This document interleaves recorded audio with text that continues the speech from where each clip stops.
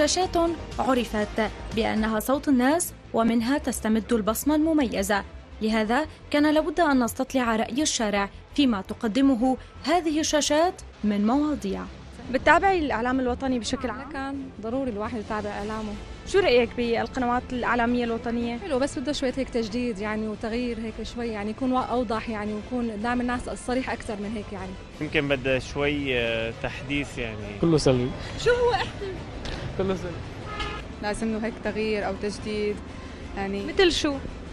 يعني هلا مثلا في بعض ال- البرامج إنه بتلاقيها شوي جافة يعني هيك مثل كأنه مثلا المذيعه بتطرح السؤال بشكل إنه مثل ما هو مكتوب يعني ما في هيك بتحسي إنه في آه، هيك في آه، حيوية أو هيك في تفاعل أكثر يعني تلاقي هيك أنا عم تسرد السؤال مثل ما هو مكتوب يعني. حتى طريقة طريقة مثلا طرح السؤال بتلاقيها هيك جامدة يعني ما في هيك تفاعل أو هيك اكشن أو ما بعرف يعني في هيك شيء بشدك لطريقة السؤال يعني. لو كان في عنا عقول قديمة نتمنى نستعين بالعقول الجديدة وندمجها مع القديم ونسير نحو الأمام. نحن كجيل إعلامي طالع بنتمنى إنه يكون في روح وطاقات إعلامية جديدة. يعني أنا يمكن بشوف تلفزيون من لما كان عمري ست سنين لهلأ بحس إنه نشرة الأخبار مع إنه بظروف صعبة وكذا ولازم يكون شيء جديد كله نفس الشيء تحسي مثل مذيعاتنا صايرين بال- إن كان بالحوار باللبس بال... بال- بكل شيء عرفتي كيف؟ يعني مثلا بتفتحي المحطات ال- لنقول اللبنانية تمام؟ بتلاقيهم آه، عن جد شيء بشهيك إنك تتفرجي على إنه أحاديثهم آه، ثقافاتهم، نحن ابدا ما عندنا هذا الشيء. المواضيع اللي عم تنحكى يعني ما كثير بتجذب الانتباه والرأي يعني. هلأ في كثير لا الشغلات لازم تتغير مثلا. هلأ المذيعة بالبرامج اللي عم بيحطوها إنه بتحسيها روتين متكرر. يعني حتى الحوار نفسه. يعني كل يوم بقلب على نفس المحطة نفس الحكي ونفس ال... نفس كل شيء يعني روتين روتين. إنه ما في شيء عم يتغير. ما في شيء عم يفيدنا نحن. إذا قارناه مع قبل الحرب فحقيقه صار في تحديث.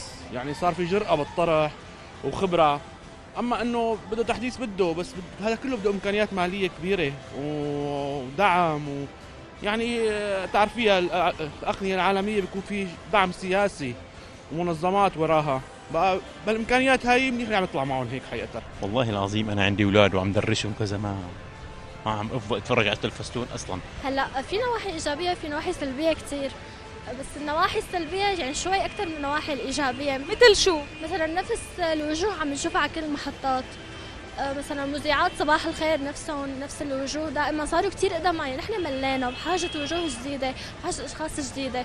فكرة جديدة الناس تطرحها. بهالأزمة اللي نحن عم نمر فيها أغلب الأقنية الإخبارية السورية حتى صارت تواكب الحدث يعني صار في تقدم أو قفزة نوعية عن الماضي. يعني كل الأخبار اللي نسمعها حقيقة ما بدي أقول لك أونلاين يعني مباشرة كله عم نسمعه أخبار بعيدة ولكن بهالأزمة صارت تواكب الحدث. صارت تغنينا أنه نتابع محطات ثانية كويس وشيء مفيد. القناة الرسمية عنا صار بدنا وجوه جديدة يعني. إنه بس لو بيغيروا شوي إنه نغير الروتين شوي بيكون أحسن يعني. هلا أنا ما بحب أحكي كثير عن الشق السياسي لأنه هذا الشيء بيتعلق وعم يأدوا دورهم وبشكل كثير يعني الجهد عم ينبذل عن جد صحيح. بس على المستوى الاجتماعي اللي بيخصني أنا ومستوى الشباب بحس في تقصير في نقص يعني. لازم يكون تفاعلي أكثر التلفزيون يصير وجريء أكثر بطرح القضايا. لازم كمان نلاحظ حضور للشباب أكثر يعني بي بي وتفاعلي أكثر يعني. مثل ما بنشوف القنوات ال graphics يكون أقوى آه، يعني البصريات تكون أحسن بكثير اختلفت وجهات النظر بين من وجد شاشات الإعلام باتت أكثر مواكبة للأحداث. ومن وجد الحاجة في تطوير طريقة طرح المواضيع. إعلام استطاع أن يكون وسط الشارع في سنوات الحرب ولكن ربما ينقصه التجديد والتطوير. هكذا كان رأي الشارع السوري عبر كاميرا الإخبارية السورية لليوم. للإخبارية السورية من دمشق سلمى عودة.